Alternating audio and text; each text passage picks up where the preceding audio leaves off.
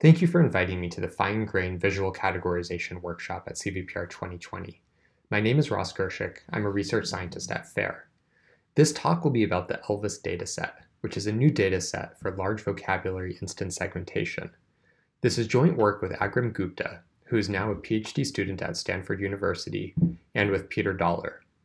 Now, this topic is not exactly about fine grained recognition, but I think it overlaps well in terms of some of the open scientific challenges, and I thank the organizers for the opportunity to present this work to this audience. I'll start by saying that in machine learning, we basically only know how to do one thing. That is, take a giant class balanced data set with a lot of manually curated annotations, and then train a big deep neural network on those annotations. And for many problems, this works well enough to build systems that do useful things in the world. This talk is about one open scientific research challenge that's really close to that one thing that we can do pretty well, but it's also far from being solved. And I think this juxtaposition illustrates that there is something fundamentally missing from our current approaches and I hope that it will inspire researchers to pursue this problem. So what is this challenge? I think it all starts with naming things. Why do we want to name things? We name things in order to communicate.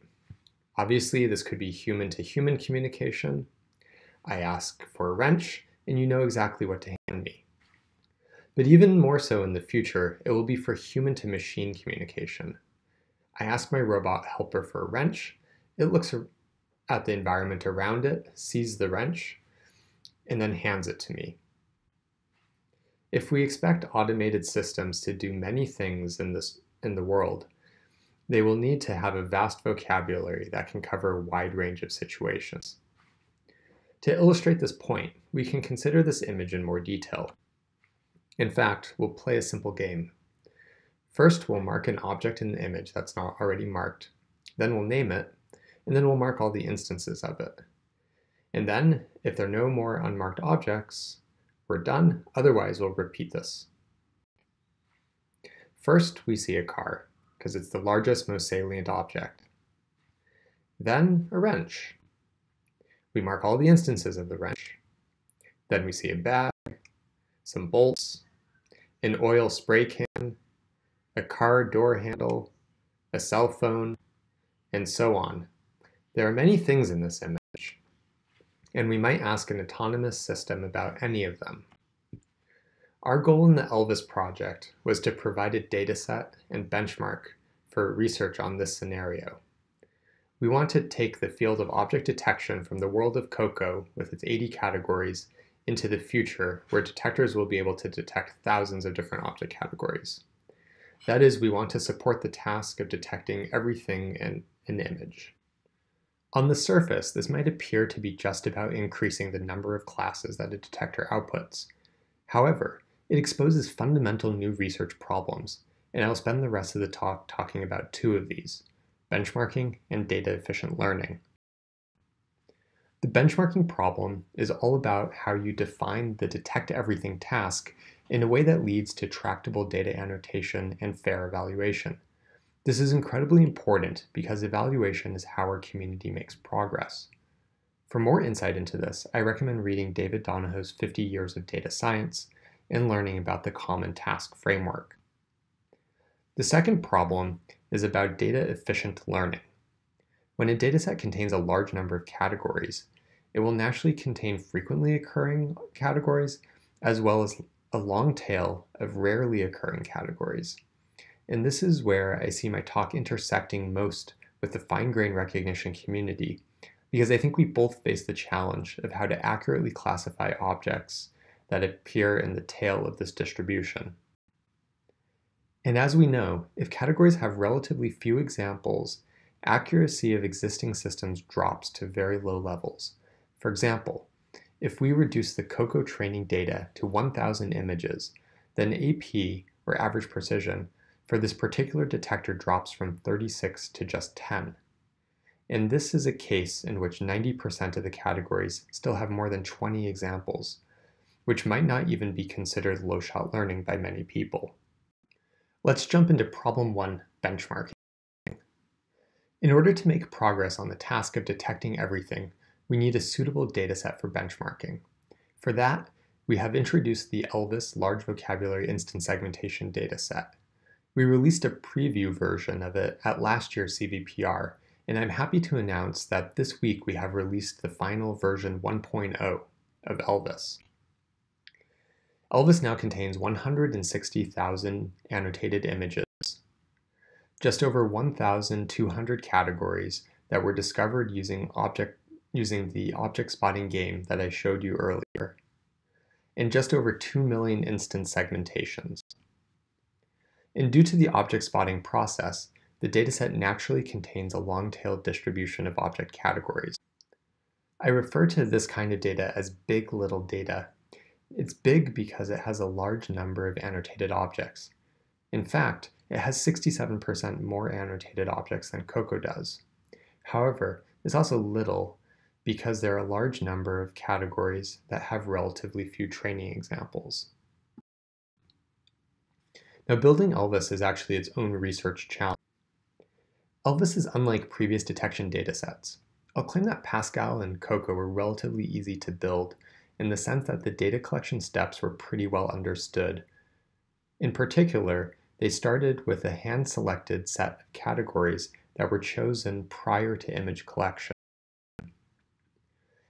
Images were then collected by searching for these selected categories. This process means that categories can be well separated by design. There are few or no ambiguous cases. For example, no one will ever confuse a potted plant with a sofa. This design also means that annotating all instances of the small number of categories, a property that I'll refer to as exhaustive annotation, is easy to do. However, in LVIS, all of these nice properties go away. At the scale of thousands of object categories, the boundaries between categories can get fuzzy. Now, an NLP researcher once told me, the thing that computer vision people don't get is that the entity in the image is not the label. The label is just a referring expression. What this means is that for a given object or entity in an image, there are multiple valid ways to refer to it. That is, the category is a referring expression, and therefore an object may easily belong to multiple categories. For example, an object such as a toy deer may be referred to both as a toy and a deer. Cars and trucks are both vehicles, and backpack and rucksack are synonyms. If one were to try to build LVIS the same way that COCO was collected, it would require making a more than 1,000 way forced binary judgment for every object in every image. This is a non-starter because the volume of annotation work is too great, and also, due to the multiple referring expression issue, it will undoubtedly lead to many errors and inconsistencies in the annotations, where different annotators make different judgment calls about the fuzzy boundaries between categories. We solve this problem by proposing a new way to structure object detection datasets that I'll call a federated dataset, which is not to be confused with federated learning, which is a different concept.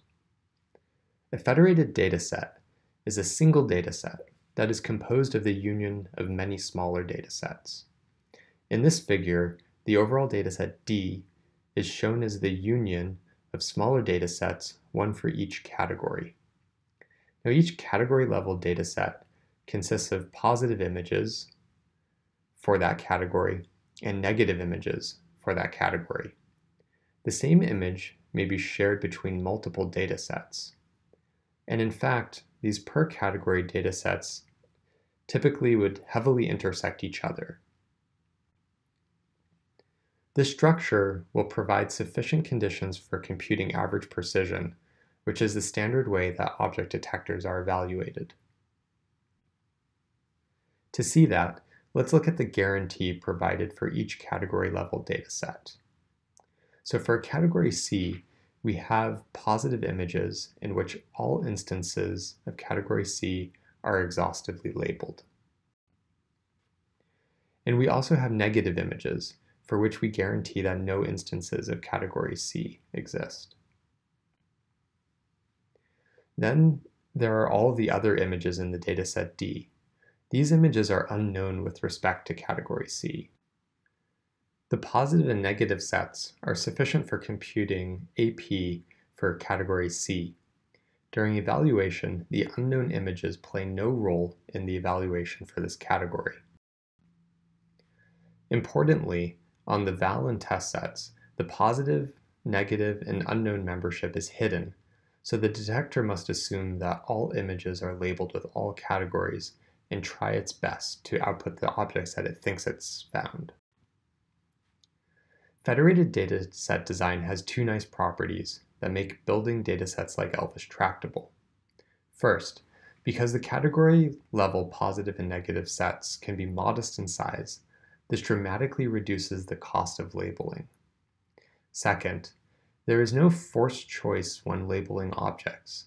If an annotator cannot tell what label to apply to an object because it is on the fuzzy boundary between categories, then it can simply be left as unknown without creating a problem for evaluation. To collect this type of federated dataset, we used a custom six-stage annotation process. It starts with the object spotting game I showed you earlier, in which objects are spotted in stage 1, and then all instances of spotted objects are labeled in stage 2. Then, in stages 3 and 4, we perform instance segmentation and quality verification, going back and forth until all instances have been segmented up to a certain level of quality. In the fifth stage, we check images to make sure that positive images are actually exhaustively annotated. If any case is found with missing annotations, for example, a missing book in this figure, then we flag that so it can be handled properly during evaluation. Finally, we collect a set of negative labeled images for each category. This process results in pairs of images and categories like these shown here. For example, this is an image that contains two beer kegs. They are not the most notable or salient objects in this scene, as you would typically find in many previous detection datasets. Another example. Here are lanyards holding ID cards, like what we would be wearing if CVPR were a physical meeting this year. And finally, one example to show off the quality of the segmentations that we've collected. We see the fine detail captured in the pineapple segmentations. In fact, LVIS segmentation quality is very high. We compared segmentation mask quality using two metrics, mask IOU and boundary F measure, between the collected dataset annotations and annotations performed by highly skilled experts using Photoshop. This experiment demonstrates that LVIS has much higher quality segmentations than COCO, and this is particularly true for object boundaries. Now I want to transition to the second problem, which is data efficient learning. After years of making AP high, the LVIS dataset will make AP low again. To recap, LVIS has a large vocabulary of objects that were discovered in images. This process starts from a set of images without knowledge of what categories exist.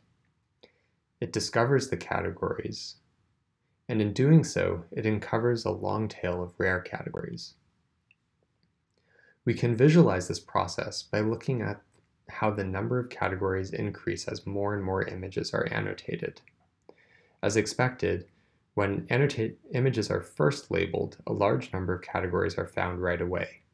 And as the process continues, this starts to plateau. However, because we keep adding more categories as more images are labeled, this long tail is essentially inescapable. Now, you might try to get around this issue by simply adding more images, that contain instances of a category with few examples.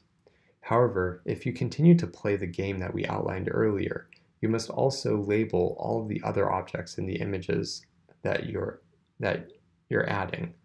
And this will simply introduce new rare categories over time. To illustrate the challenge posed by LVIS, we can look at what happens when you train a strong baseline detector on it. In this case, I'm using Mask RCNN that has been trained with a two-stage training strategy. In the first stage, it's trained as Mask RCN norm normally would on a standard category balanced dataset like COCO. In the second stage, the network weights are frozen, except for the final linear layers that perform classification, box regression, and mask prediction. These layers are further trained using a data resampling strategy. The resampling strategy picks a category uniformly at random, and then an image that contains that category, again uniformly at random. This two-stage training technique has recently been shown to provide a strong baseline for low-shot learning. Now to evaluate systems on LVIS, we look at overall AP as well as AP that's broken into three buckets based on the frequency of categories in the training data. We call these AP rare, AP common, and AP frequent. As you can see, for rare categories, average precision is only at about 60% of the AP that's achieved for the frequent object categories, indicating that there is still a large gap between performance in these two cases. Meanwhile, compared to the COCO dataset, overall AP is quite low, indicating that the larger set of categories also presents an overall challenge. So in summary, I've covered the new LVIS dataset. We've just released version 1.0 and are looking forward to seeing what the research community is able to do to come up with new techniques to tackle the challenging problem of learning from few examples. And on that note, I want to end by advertising that we'll be holding a challenge at the next COCO workshop at ECCV in August, and we're hoping to see you participate. Thank you.